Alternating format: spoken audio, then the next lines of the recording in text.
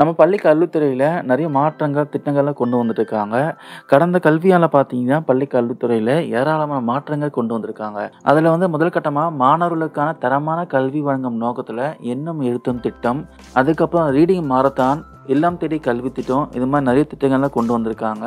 அதை ஃபாலோ பண்ணி நடப்பு கல்வியானில் ஃபஸ்ட் ஸ்டாண்டர்ட்லேருந்து ஃபிஃப்த் ஸ்டாண்டர்ட் வரை உள்ள மாணவர்களுக்கு காலை சிற்றுண்டி திட்டம் வந்து தமிழக அரசு அறிமுகப்படுத்தியிருக்காங்க. அது மட்டும் இல்லாமல் அரசு பள்ளி மாணவர்களுக்கு திறமைகளை வெளிக்கொண்டு வரும் வகையில் கலை நிகழ்ச்சிகளும் நடத்தப்பட்டு வருது. அடுத்த வாரம் பார்த்தீங்கன்னா, மாநில அளவிலான போட்டிகள் நடைபெறும்ன்ட்டு பள்ளி கல்வித்துறை அறிவித்திருக்காங்க இப்போ பார்த்தீங்கன்னா, நம்ம ஸ்கூல் என்ற புதிய திட்டம் தமிழக முதலமைச்சர் மு. க. ஸ்டாலினும் தொடங்கி வைத்திருக்காங்க. இந்த திட்டத்தின் மூலமாக அரசு பள்ளிகளை பயன் பயின்று தற்போது உயர்ந்த நிலையில் உள்ளவர்களாக தங்கள் பள்ளிகளுக்கு உதவும் விதமாக இது வந்து உருவாக்கப்பட்டிருக்கு. தற்போது வந்து நம்ம school dot TN school dot gov dot in இதுக்காக ஒரு வெப்சைட் வந்து உருவாக்கியிருக்காங்க.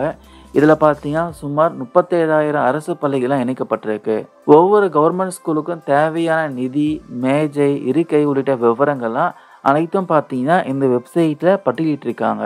ஆக்சுவலி இந்த திட்டத்தின் நோக்கம் பார்த்தீங்கன்னா, அரசு பள்ளிகளை மேம்படுத்த மக்களும் அரசுடன் வந்து கை சேர்க்க வேண்டும். அதான் நம்ம ஸ்கூல் திட்டம் வந்து தமிழக முதலமைச்சர் மு. க. ஸ்டாலின் தொடங்கி வைத்திருக்காங்க. நம்ம ஸ்கூல் திட்டத்தில் பங்கேற்க விரும்புவோர்லாம் எந்த பள்ளிக்கு வேண்டும் என்றாலும் நிதியுதவி வழங்கலான்ட்டு தெரிவிக்கப்பட்டிருக்கு.